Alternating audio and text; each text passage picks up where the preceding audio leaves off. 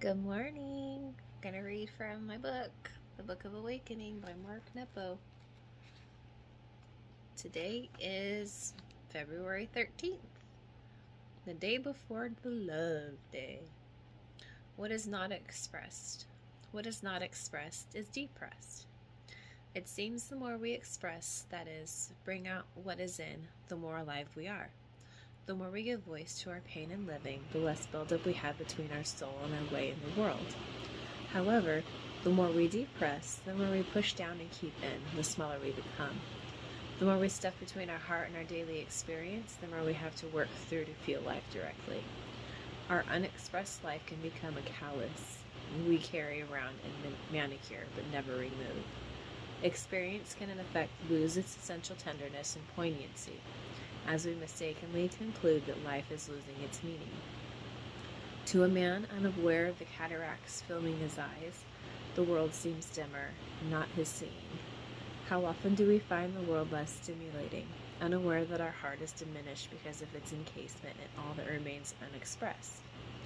Let me give a personal example. I have, for many reasons, including issues of my own making, forever felt invisible in family or group settings. Initially, this stemmed from fearfully pleasing a self centered mother at all costs. It led to years of unexpressed hurts and rejections that accrued into a callus that guarded the heart within my heart. I am and have always been a very open and emotional and accessible person, but at a certain depth, my core could not be touched.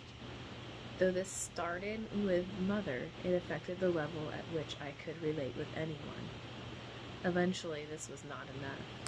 I realized the world, world was not losing color, but that I was screening the deepest emotional colors out. That I state this so calmly and clearly as in one sentence hardly reflects the difficult and slow, elusive way this awareness painted itself into my daily consciousness. Rather, it emerged in me gradually as I began to acknowledge and voice the feelings of invisibility that I've carried all whatever your own example. It seems our authenticity is tied to what we, is depressed and what is expressed. Just as flowers need healthy root systems in order to blossom, feelings can only express their beauty when they are rooted cleanly within us, breaking ground in some manner, sprouting outside us. It is that delicate paradoxical inch of ground between surface and deep, between flower and root, between what is allowed out and what is allowed in that continually determines whether we are living our lives or not. Recall the last time you felt depressed. Sit quietly and look inside and see if there is anything lodged or pressing there against your mind or heart. It might be a disappointment or injury that you don't want to accept about yourself or others. Treat whatever you find like a splinter and soften yourself with the slowness of your breathing so it can be removed. As you breathe, remember that you are larger than this hurt pressing in on you. I thought that's really pretty. I just love this guy, Mark Nepo. He's amazing. It really takes a certain soul to help you look at life a little differently, you know.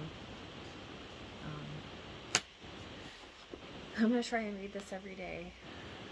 It's going to be a lot of videos on my phone, but I'll just have to download, delete them once I download them to my page or something. Um, you like the video, please make sure to like it.